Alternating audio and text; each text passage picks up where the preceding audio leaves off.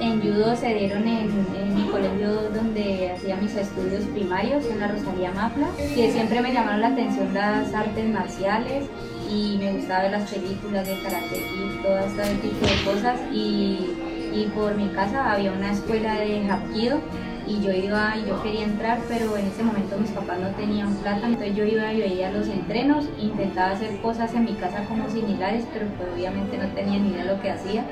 hasta que pues el profesor Ruperto Guauña eh, inició como profesor de educación física en, en la escuela y éramos felices ahí, hasta que pues ya competí, gané y ya fui a entrenar al Coliseo de Alfaguara y ahí pues fue que empecé todo desde niña que ha empezado su deporte y ella con mucho esfuerzo ha salido adelante. Estoy muy agradecida con todos los jamundeños y con todas las personas porque de una o de otra manera nos ayudaron y pusieron un granito de arena para que Luz Adiela en estos momentos estuviera allá. El solo hecho de estar en unos olímpicos, que es la máxima, lo máximo de un deportista, entonces pues hoy vemos hecho realidad y la verdad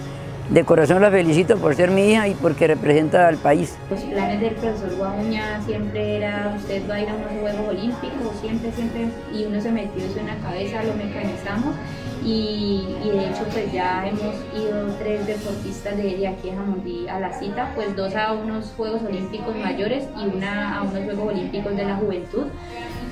Yo pienso que todos los triunfos y hasta ahora por lo menos uno mira atrás las derrotas y también dejan alguna enseñanza que, te han ayudado a crecer en, en, este camino. Lo único que yo le digo a ella, pídale a Dios que haga su, su obra en ella, que Él es el único que le está abriendo las puertas y se las ha abierto hasta ahora, pero que se la goce y sigue para adelante. Te amo mucho, mami, te amo mucho. Deseamos todo lo mejor y yo sé que usted va a ganar y va a ser una triunfadora y le deseo lo máximo como mi hija que es, que sé que me la va a ir bien y los invito a todos de corazón para que nos unamos, para que hagamos un esfuerzo para que ella sea ganadora. Me siento muy orgullosa de ser jamondeña. Eh, hay muchas personas que dicen que yo soy muy regionalista y pues la verdad, si yo siempre digo, yo soy más jamondeña que el cholao,